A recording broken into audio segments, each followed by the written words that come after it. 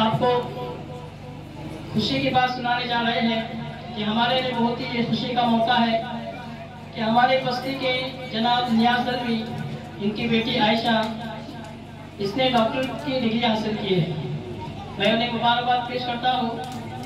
और हमारी बस्ती या हमारे कौम के जब भी कोई बच्चे आगे बढ़े तो उनका हौसला अफजाई करना ये हमारा अखलाकी फरीजा है।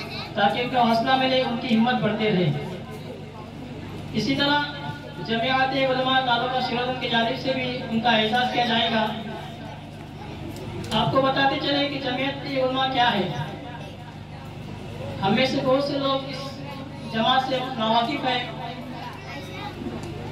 चंद सालों में हम ये नाम सुन रहे हैं कि जमियत हिंद।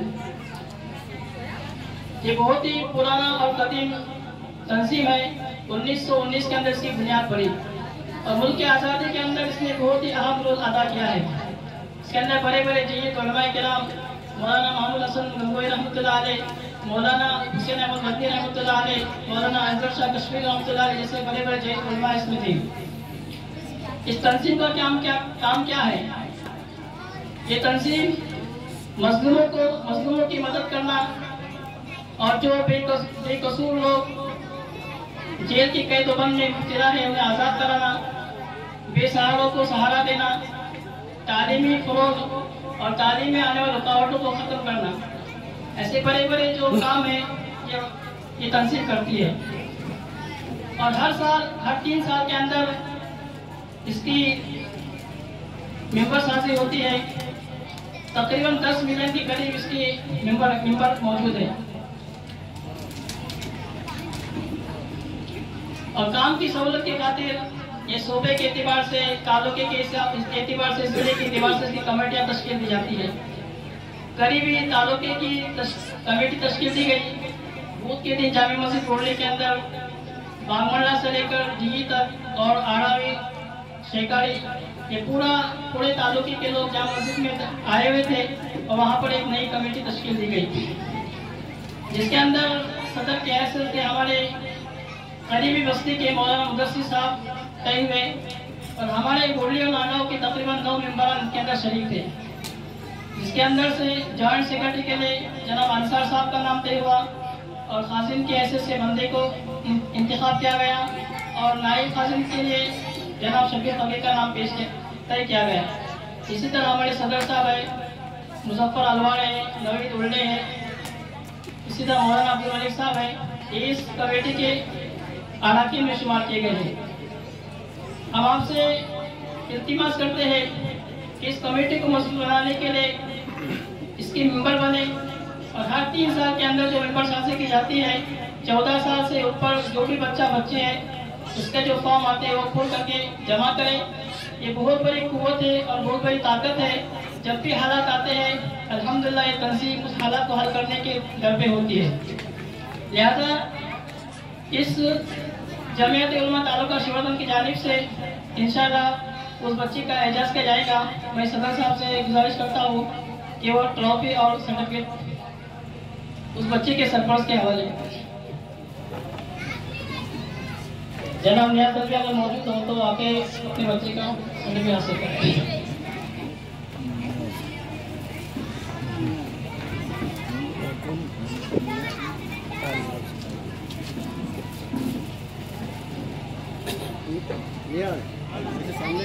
अरे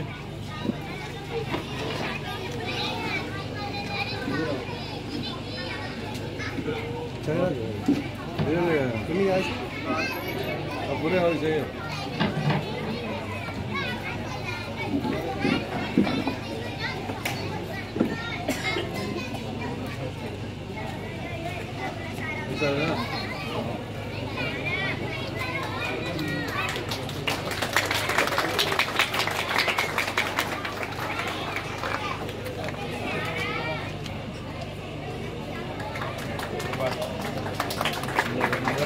माशाल्लाह।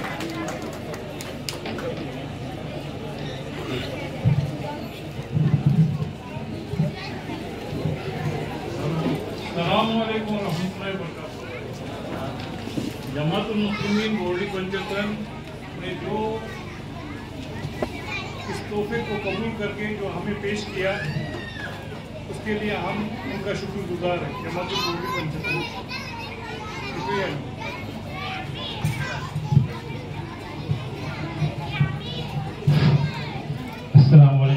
वालेकुम रहमतुल्लाहि अल्हम्दुलिल्लाह, दो दिन पहले जामा मस्जिद बोरली फजल में जामिया उलमा तालुका शिरवर्धन कमेटी की अहदेदार का चुनाव हुआ और वो नए अहदेदार मुंतखब हो गए, जिसे बोरली बस्ती से तीन नए अहदेदार चुने गए।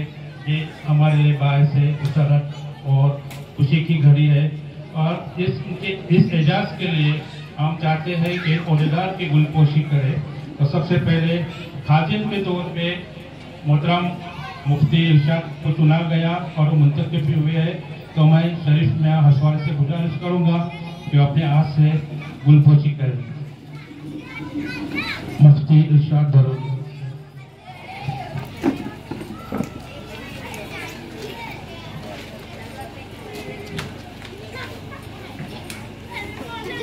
इसके बाद नायब खादिम के तौर पर मोहतरम शबीर इब्राहिम फकीर, उनको इंतखब किया गया। मैं जमातुल मुस्लिमीन नागांव के सदर अब्दुल मजीद उमरकर से गुजारिश करूँगा कि वो अपने हाथ से गुलपोशी करें।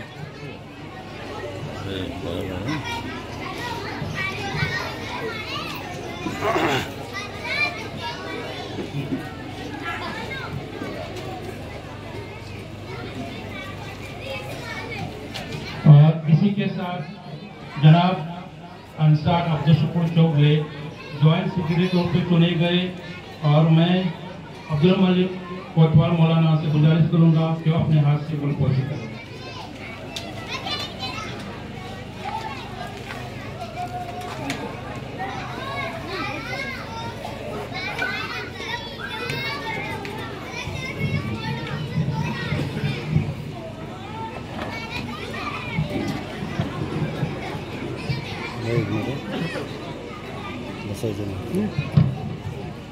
अल्हम्दुलिल्लाह, आज के मजलिस बहुत खूब अंजाम पसीर हुई।